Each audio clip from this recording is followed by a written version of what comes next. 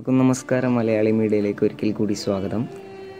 ഇന്ന് ഈ വീഡിയോയിലൂടെ നിങ്ങൾക്ക് പരിചയപ്പെടുത്താൻ പോകുന്നത് ഒരു ആനക്കഥയാണ് ഒരു ആനയെക്കുറിച്ചുള്ള കഥ. മറ്റാരുമല്ല ആനപ്രേമികളുടെ സ്വന്തം തൃക്കടവൂർ ശിവരാജുവിനെ കുറിച്ചാണ് ഗജസൗന്ദര്യത്തിന്റെ മൂർത്തിഭാവമാണ് ശിവരാജു. ലക്ഷണപൊരുത്തവും ഉയരപ്പെരുമയുമുള്ള ഒരു സഹ്യപുത്രൻ. പത്തടിക്കു മേലെ ഉയരക്കേമത്തം എന്നാലോ ഇരിക്കസ്ഥാനത്തിന്റെ ഉയരത്തേക്കാൾ കുറഞ്ഞത് ഒരടിയെങ്കിലും മേലെ നിൽക്കുന്ന തലയെടുപ്പ്.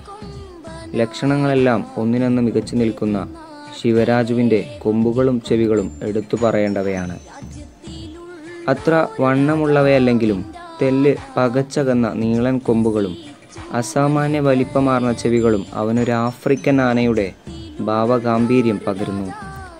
നീണ്ട തുമ്പിക്കൈയും തെറ്റില്ലാത്ത വായുക്കുമ്പവും കരിങ്കറുപ്പു നിറവും ഉറച്ച കാലുകളുമെല്ലാം രാജുവിന്റെ പ്രതിഭാവിലാസങ്ങൾ തന്നെ. ഇടനീളം കുറച്ച് കുറവാണെന്നത് മാത്രമാവാം ചെറിയൊരു ന്യൂനത. പിന്നെ കണ്ണു തട്ടാതിരിക്കാൻ എന്നോണം. എങ്ങനെയോ ഒരു ചെവിയിലുണ്ടായ ചെറിയ മുറിപ്പാടും. ഒപ്പം സഹ്യപുത്രന്മാരുടെ തനത് മേന്മകൾ എന്ന് പെരക്കെ വാഴ്ത്തപ്പെടുന്ന അങ്കോപാംഗ ലക്ഷണ തികവുകളുടെ ചേരുംപടി ചേർച്ചയാണ് ശിവരാജു. ആനച്ചന്തവും ആനക്കമ്പവും മധ്യ കേരളം എന്ന തൃശൂർ പാലക്കാട് ജില്ലകളിൽ മാത്രം കുത്തകയെന്ന് വിശ്വസിക്കുന്നവർക്ക് മുന്നിൽ തിരുവിതാംകൂറിന്റെ തിരുമുറ്റത്ത് നിന്ന് ഒരു ഉശിരൻ പോരാളി. തിരുവിതാംകൂർ ദേവസ്വം ബോർഡിന്റെ ഗജരാജസേനയിലെ ഉയരക്കേമൻ. ആനക്കമ്പക്കാരെ അടിതൊട്ട് മുടിയോളം ആവേശഭരിതരാക്കുന്ന അണി അസാധാരണമായ തലയെടുപ്പ് ഇവനുണ്ട്. അതെ ഇവൻ രാജു. തൃക്കടവൂർ ശിവരാജു കൊല്ലം ജില്ലയിലെ വിഖ്യാതമായ തൃക്കടവൂർ ക്ഷേത്രത്തിലെ ആന. ക്ഷിപ്പപ്രസാദിയും ക്ഷിപ്രകോപിയുമായ തൃക്കടവൂരപ്പന് എട്ടുകരക്കാർ ചേർന്ന് നടക്കിരുത്തി ആനക്കുട്ടി. ഇന്നിപ്പോൾ തൃക്കടവൂർ ദേശത്തിന്റെ നാമം തിരുവിതാംകൂറിന്റെ അതിരുകളും കടന്ന് കേരളം അങ്ങോളം ഇങ്ങോളം അറിയപ്പെടുന്നുവെങ്കിൽ അതിന് കാരണക്കാരൻ ഒരാൾ തന്നെ. അതെ രാജുവെന്ന് ആനപ്രേമികൾ വിളിക്കുന്ന തൃക്കടവൂർ ശിവരാജു മറ്റൊരു തരത്തിൽ പറഞ്ഞാൽ ഇന്നിപ്പോൾ മലയാള നാട്ടിലെ ഏറ്റവും ചർച്ച ചെയ്യപ്പെടുന്ന ആനകളിലൊന്നാണ് ശിവരാജു. വടക്കൻ നാട്ടിലേക്ക് അങ്ങനെ കാര്യമായൊന്നും കടന്നു വരാറില്ലാത്ത ശിവരാജുവിനെ നേരിൽ കാണാൻ തൃശ്ശൂരിലെയും പാലക്കാട്ടെയും എത്രയോ ആനപ്രേമികളാണ്. തൃക്കടവൂർ ക്ഷേത്രത്തിലേക്കും ശിവരാജുവിന്റെ എഴുന്നള്ളിപ്പുള്ള തെക്കൻ കേരളത്തിലെ ക്ഷേത്രങ്ങളിലേക്കും അടുത്ത കാലത്തായി അനുദിനമെന്നോണം എത്തുന്നത്.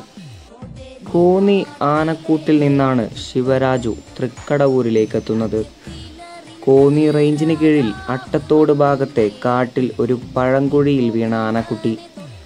നിയമമൂലം ആനപിടുത്തം നിരോധിക്കപ്പെട്ടിട്ടും കാട്ടിൽ അവിടെവിടെയായി മൂടാതെ കിടക്കുന്ന പഴയ വാരിക്കുഴികളെയാണ് പഴങ്കുഴി എന്ന് വിളിക്കുന്നത്.